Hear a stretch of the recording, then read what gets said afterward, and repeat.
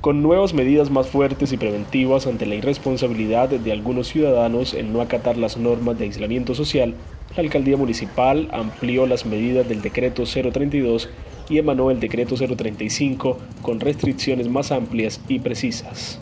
Con el decreto 035 que se expidió el día de ayer, ese pico y cédula cobijará todas las excepciones presidenciales. ¿Qué quiere decir? Que de 7 de la mañana a 10 de la mañana es el tiempo que se autoriza para que la gente haga su diligencia bancaria, vaya a la notaría, se supla de alimentos y se entiende que de las 10 de la mañana y un minuto a la 1 y 59 de la tarde no podrá haber ningún ciudadano en las calles de Ocaña. Y nuevamente retomamos a las 2 de la tarde hasta las 4 de la tarde.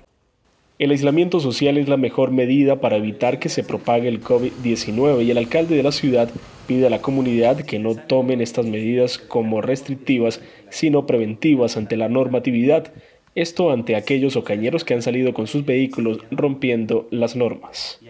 Esa desobediencia civil es la que uno no entiende. La gente no, o algunas personas no han logrado eh, dimensionar la situación que estamos viviendo.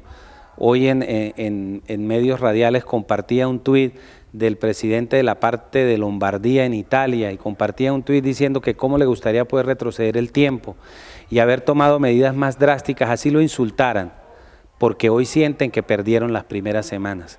Porque las primeras semanas son lo clave. El virus dura 14 días en incubarse. Cualquier persona lo puede portar y no tener síntomas. Y si lo porta, lo puede transmitir. No permitamos que se nos colapsen los servicios de salud en la ciudad. Sigamos con este aislamiento social que es la principal herramienta para evitar el contagio de forma masiva del COVID-19. Con estas nuevas medidas podrán salir los ocañeros rigiéndose al pico y cédula sus vueltas cotidianas respetando los horarios establecidos.